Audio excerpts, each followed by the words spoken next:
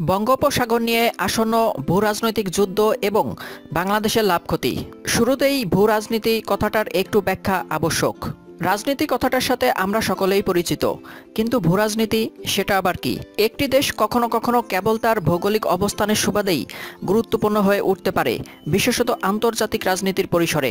ভৌগোলিক অবস্থানের প্রকৃতিদত্ত সুবিধা অসুবিধার সাথে সম্পৃক্ত এই রাজনৈতিক বাস্তবতাই ভূ ভূরাজনীতি ভূরাজনীতির এই ব্যাখ্যার আলোকে জোরালো উচ্চারণেই বলা যেতে পারে, দক্ষিণ এশিয়ার এই অঞ্চলের ভূ রাজনৈতিক বাস্তবতায় একটি অসীম সম্ভাবনার নাম বঙ্গোপসাগর।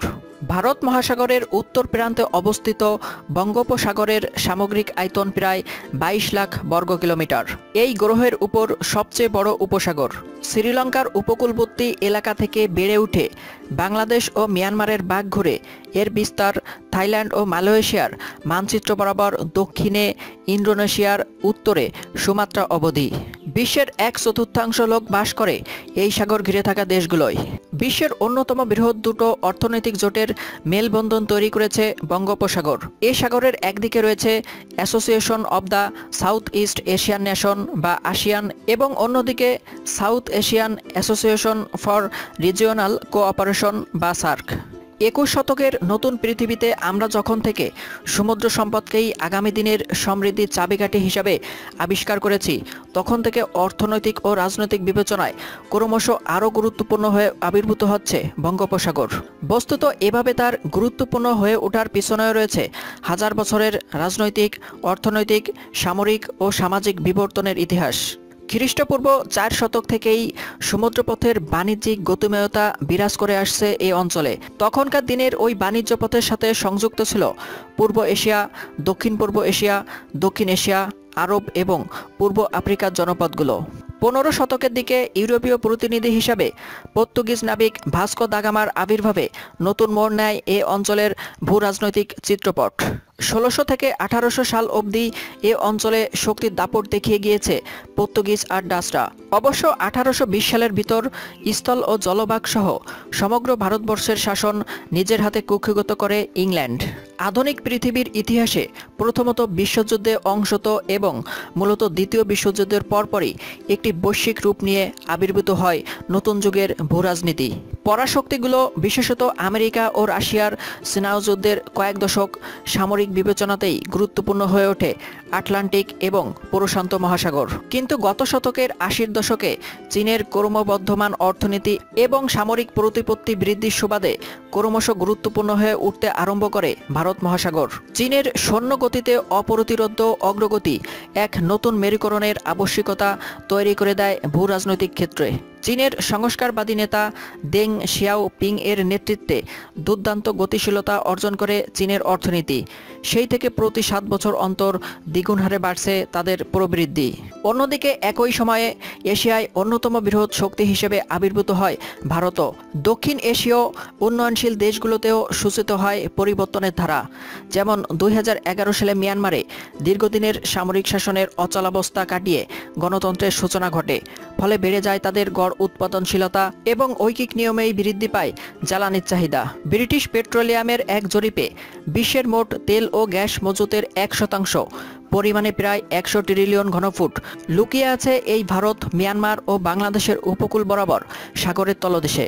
বিপুল সম্ভাবনার আকর বঙ্গোপসাগর, তাই তো এমন মনোলভা আকর্ষণীয় হয়ে দেখা দিয়েছে Bangladesh, Myanmar, Malaysia, Thailand, Singapore, Indonesia, Sri Lanka এবং ভারতের পাশাপাশি চীন এবং যুক্তরাষ্ট্রের মতো পরাশক্তির কাছেও। বিশ্বের দ্বিতীয় শীর্ষ তেল আমদানিকারক দেশ চীন। তার এই তেলের আশি শতাংশ পরিবাহিত হচ্ছে মালাক্কা প্রণালী দিয়ে।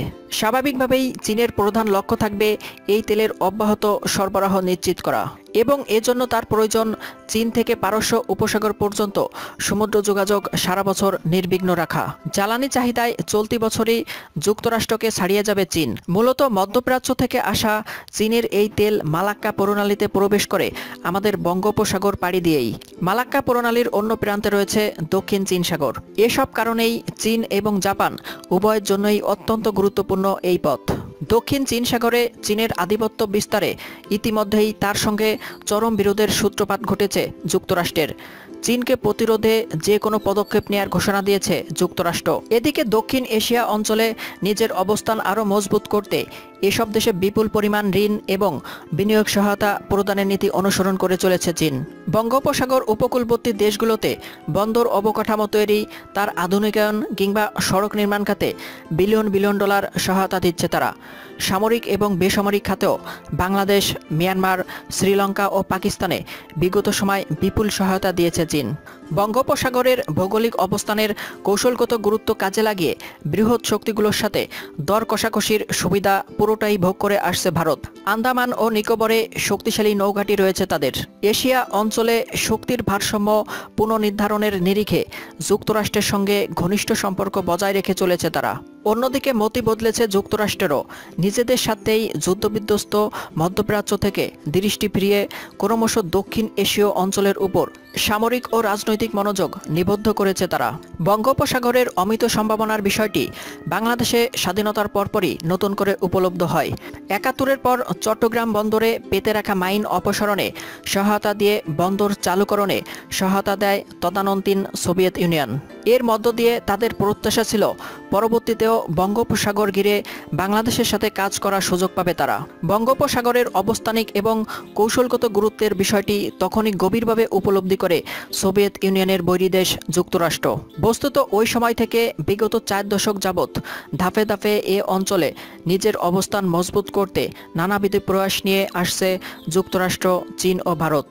চীনকে প্রতিহত করতে আসিয়ানভুক্ত চীনের প্রতিবেশী দেশগুলোর সঙ্গে ঘনিষ্ঠ সম্পর্ক তৈরি করছে যুক্তরাষ্ট্র। কিছুটা নাজুক অবস্থানে রয়েছে তারা, যেহেতু এশিয়াতে শক্তিশালী একটি সামরিক অবস্থান এখনও তৈরি হয়নি তাদের। অন্যদিকে বঙ্গোপসাগরের উপকূলবর্তী দেশগুলো ইতিমধ্যেই কোনো না কোনোভাবে ভারত অথবা চীনের মতো আঞ্চলিক বড় শক্তির উপর নির্ভরশীল। এ কারণে যুক্তরাষ্ট্র চাইছে প্রচুর সহায়তা দিয়ে হলেও এসব দেশকে নিজেদের মিত্র হিসেবে গড়ে তুলতে, যাতে তারা সামরিক ও রাজনৈতিক প্রশ্নে আঞ্চলিক বড় শক্তিগুলোর উপর নির্ভরশীলতা কাটিয়ে উঠতে পারে। অভিন্ন উদ্দেশ্য থেকেই ভারতীয় নৌশক্তিকে বিপুল সহায়তা দিয়ে আসছে তারা। মার্কিন আশীর্বাদেই উনিশশো উনআশি থেকে দুই হাজার নয় সালের ভিতর উপকূলীয় সাগরের নৌবাহিনী থেকে নীল সাগরের নৌবাহিনীতে উত্তরণ ঘটেছে ভারতীয় নৌবাহিনীর। বঙ্গোপসাগরের উপযোগিতা কাজে লাগাতে চায় ভারত। তার জন্য প্রয়োজন বাংলাদেশের উদার সহযোগিতা। ভারতের উত্তর পূর্বাঞ্চলীয় রাজ্যগুলোর সাথে যোগাযোগ সহজ করতে বাংলাদেশের অবস্থানিক সুবিধা কাজে লাগাতে চায় দিল্লি। অন্যদিকে মেরিটাইম সিল্ক রুট পরিকল্পনার আলোকে চীনও চায় বাংলাদেশের বন্দর সুবিধা কাজে লাগাতে। ফলে বাংলাদেশের অবকাঠামো খাতের বিনির্মাণে চীন সর্বদা প্রসারিত রেখেছে তার সহযোগিতার হাত। বাংলাদেশের মধ্য দিয়ে পথ তৈরি করে দক্ষিণ চীনের ইউনান প্রদেশের সাথে যোগাযোগ সুগম করা তাদের আরেকটি লক্ষ্য। বঙ্গোপসাগরের ব্যাপারে অনাগ্রহী থাকতে পারছে না জাপানও। প্রশান্ত মহাসাগর থেকে ভারত মহাসাগর পর্যন্ত অর্থনৈতিক বন্ধন গড়ে তোলার লক্ষ্যে bay of Bengal industrial growth belt বা বিগ বি নামে একটি কৌশলগত পরিকল্পনা প্রস্তাব করেছেন জাপানের প্রধানমন্ত্রী শিনজো আবে। এর আওতায় দেশের দক্ষিণে মাতার বাড়িতে তৈরি হচ্ছে একটি মাল্টি বিলিয়ন ডলার গভীর সমুদ্র বন্দর এই প্রকল্পের একটি বড় অংশ আসবে Japan international cooperative agency JICA থেকে। এতে মোট ব্যয় হবে চার দশমিক ছয় বিলিয়ন ডলার, যার মধ্যে জায়গা দেবে তিন দশমিক চার বিলিয়ন ডলার। এতে থাকবে ছয়শো মেগাওয়াট ক্ষমতা সম্পন্ন কয়লা চালিত দুটি বিদ্যুৎ উৎপাদন কেন্দ্র এবং আঠারো মিটার ড্রাফট বিশিষ্ট জাহাজের জন্য প্রয়োজনীয় বন্দর সুবিধা, যাতে সেখানে ভিড়তে পারে আশি হাজার ডেড ওয়েট টনের বিশাল সমুদ্র জাহাজও। নতুন শতকের প্রথম দশকে দেশের দক্ষিণে তৃতীয় সমুদ্র বন্দর হিসেবে শুরু হয় পায়রা বন্দর নির্মাণের কাজ। এ লক্ষ্যে চীনের দুটি প্রতিষ্ঠানের সঙ্গে সমঝোতা চুক্তিও স্বাক্ষর হয়েছে ইতিমধ্যে। এরা হচ্ছে China harbour engineering company limited এবং China estate construction engineering corporation limited. Payra বন্দরে কন্টেইনার, বাল্ক, সাধারণ কার্গো হ্যান্ডেলিংয়ের প্রয়োজনীয় অবকাঠামো ছাড়াও থাকবে এলএনজি, পেট্রোলিয়াম ও যাত্রী টার্মিনাল। বন্দর ঘিরে গড়ে তোলা হবে বিশেষ অর্থনৈতিক অঞ্চল। বৃহত্তর শিল্পায়ন প্রক্রিয়ার আওতায় এখানে গড়ে উঠছে তৈরি পোশাক ওষুধ শিল্প সিমেন্ট কয়লাভিত্তিক বিদ্যুৎ কেন্দ্র মৎস্য প্রক্রিয়াকরণ অঞ্চল সার কারখানা তেল শোধনাগার ও জাহাজ নির্মাণ শিল্প। গভীর সমুদ্রে তেল, গ্যাস ও খনিজ সম্পদ অনুসন্ধানেও ব্যাপক আগ্রহ রয়েছে যুক্তরাষ্ট্রের। দুই হাজার পনেরো সালে বঙ্গোপসাগরে একাধিক ব্লকে তেল, গ্যাস অনুসন্ধানের কাজ পায় মার্কিন কোম্পানি কনকো ফিলিপস প্রাকৃতিক সম্পদ আহরণ কার্যক্রমে এ জাতীয় সহায়তা দিচ্ছে প্রতিবেশী ভারতও। বঙ্গোপসাগরে অগভীর সমুদ্রের দুটি ব্লকে তেল, গ্যাস অনুসন্ধানের কাজ করছে ভারতের রাষ্ট্রীয় প্রতিষ্ঠান oil and natural gas corporation Videsh limited. এবং ওয়েল ইন্ডিয়া লিমিটেড। অগভীর সমুদ্রে এস এস ফোর এবং এস এস নাইন ব্লকে দ্বিমাত্রিক জরিপ করছে ভারতের এ দুটি প্রতিষ্ঠান। বাংলাদেশের সীমানায় তেল গ্যাস অনুসন্ধানে ভারতীয় কোনো কোম্পানির অংশগ্রহণ এটাই প্রথম। বঙ্গোপসাগর ঘিরে বড় দেশগুলোর এ জাতীয় তৎপরতা এবং সক্রিয় অংশগ্রহণ বাংলাদেশের উন্নয়নের পথে এক ইতিবাচক প্রণোদনা। নিরাপত্তা বিশ্লেষকদের অভিমত, অর্থনীতির ভরকেন্দ্র পশ্চিম থেকে ক্রমশ সরে আসছে পূর্ব দিকে। স্বাভাবিকভাবেই বৈশ্বিক ভূ রাজনীতিতেও গুরুত্ব বাড়ছে বাংলাদেশের। সমুদ্রসীমা চিহ্নিত করা হয়েছে। স্বার্থসঙ্গত সংঘাতের আশঙ্কা থেকে বঙ্গোপসাগরে নৌ নিরাপত্তা একটি গুরুত্বপূর্ণ প্রসঙ্গ। এর জন্য সামরিক সরঞ্জাম সরবরাহে আগ্রহ প্রকাশ করেছে চীন আর রাশিয়া। এর আগে বাংলাদেশকে একটি কিলো ক্লাস সাবমেরিন কেনার প্রস্তাব দেয় রাশিয়া, যদিও উদ্যোগটি বাস্তবায়ন হয়নি শেষ অবধি। অন্যদিকে মাত্র কিছুদিন আগে চীনের কাছ থেকে টাইপ থার্টি ফাইভ মিং ক্লাসের দুটি ব্যবহৃত সাবমেরিন কিনেছে বাংলাদেশ। বঙ্গোপসাগর তীরবর্তী চট্টগ্রাম সহ বাংলাদেশের বন্দরগুলো আধুনিকায়ন কার্যক্রম আরও গতিশীল হয়েছে। কিছুদিন আগে চীনা প্রেসিডেন্ট শি জিনপিংয়ের দক্ষিণ এশিয়া সফরের প্রেক্ষিতে এ সফরকালে এসব প্রকল্পের জন্য চব্বিশ বিলিয়ন ডলার সহায়তার কথা বলেছেন তিনি। অবশ্য অন্যদের স্বার্থ বাদ দিয়ে কেবল নিজের কথা ভাবলেও বঙ্গোপসাগরের সম্ভাবনা কাজে লাগাতে প্রথম উদ্যোগী হতে হবে বাংলাদেশকেই। কেননা অত্যন্ত দ্রুত গতিতে বাড়ছে তার অর্থনৈতিক ও বাণিজ্যিক পরিধি। বিশ্লেষকরা জানিয়েছেন, দুই হাজার একুশ সাল নাগাদ তার রপ্তানি ছাড়াবে পঞ্চাশ বিলিয়ন ডলার। বঙ্গোপসাগরের কৌশলগত এবং ভূ রাজনৈতিক গুরুত্ব বেড়ে ওঠার চলমান প্রক্রিয়াটি অব্যাহত থাকবে আগামী দিনেও। তাতে নিয়ামক থাকবে জ্বালানি নিরাপত্তা, যোগাযোগ বৃদ্ধি এবং বাণিজ্যিক স্বার্থ। বঙ্গোপসাগর একটি বিপুল সম্ভাবনা। অনেকগুলো পক্ষ এর সঙ্গে জড়িত।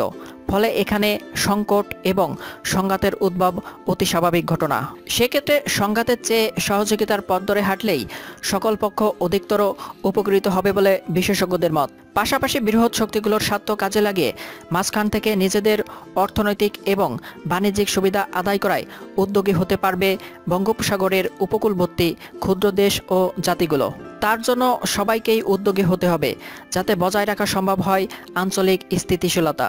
সেই সাথে একটি প্রতিযোগিতামূলক পরিবেশ তৈরি করতে হবে, যা থেকে লাভবান হতে পারে প্রতিটি পক্ষই। নিউজটি ভালো লাগলে আমাদের চ্যানেলটি সাবস্ক্রাইব করতে ভুলবেন না।